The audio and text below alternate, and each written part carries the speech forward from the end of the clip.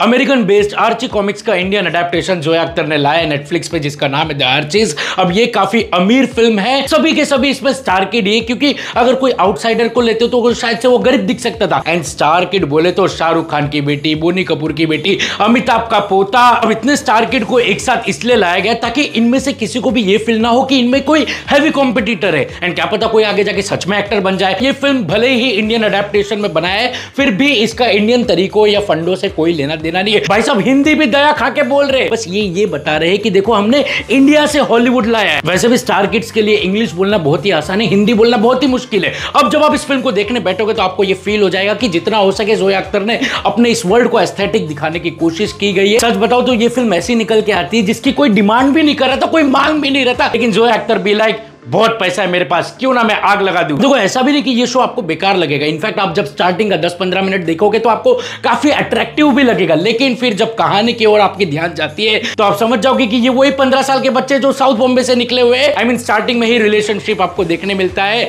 And वो ऐसा कि इसका कटा तो उसमें बटा तो उसका बटा तो इसमें कटा। फिर उसके बाद की फ़िल्म की कहानी आपको ना वो विकास बेल की चिल्लर पार्टी फ़िल्म याद आ जाएगी, जहाँ पर वो लोग कुत्ते बचाते यहाँ पर ये लोग ग्रीन पार्क को होटल होने से बचाते बट वो सब छोड़ो, ग्रीन पार्क ग्रीन पार्क बहाना है, पहला अपना एक्टिंग करियर बचाओ, वरना शुरू होते ही खत्म हो जाएगा। सच बता रहा हूँ फ़िल्म में सभी के परफॉर्मेंस इतने अच्छे कि आप इजीली इग्नोर कर सकते हैं स्पेशली खुशी कपूर के परफॉर्मेंस एंड उनकी डायलॉग डिलीवरी बाप रे बाप, उनके दांतों में ही फंस के, उनके शब्दों का एक्सीडेंट हो जाता है, वो देख के आपका दिमाग हिल जाएगा। भाई, सुहाना खान की बात करूँ तो वो एक लौती पूरे अमीर शो में गरीब दिखती है। ऐसा लगता है बड़े से मॉल के अंदर गैरेज खुलाओ बट टू बी ऑनेस्ट उनका डांस मूव्स एंड उनकी जो एक्सेंट है, उसको अप्रिशिएट किया जा सकता है। अब देखा जाए तो इस मूवी का प्लॉट भी एनिमल मूवी जैसे ही है। यहाँ पर वेरोनिका का बाप ग्रीन पार्क को होटल बनाना चाहता है, लेकिन वो अपनी बेटी का कभी भी कॉल नहीं उठाएगा एंड बात नहीं करेगा, हमेशा इग्नोर करेगा एंड कभी भी उसकी बेटी को अगर बात भी करना रहे तो उसके सेक्रेटरी से बात करनी पड़ती है। भाई साहब एनिमल मूवी में रणबीर कपूर ने अपने बाप के लिए 200 लोगों को मारा था।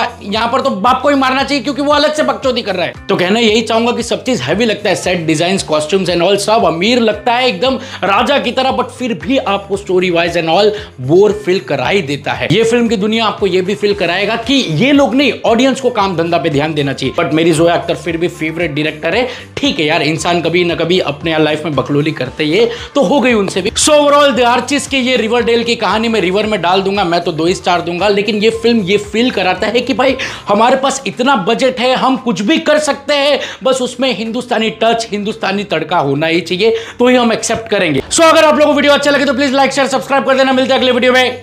बाय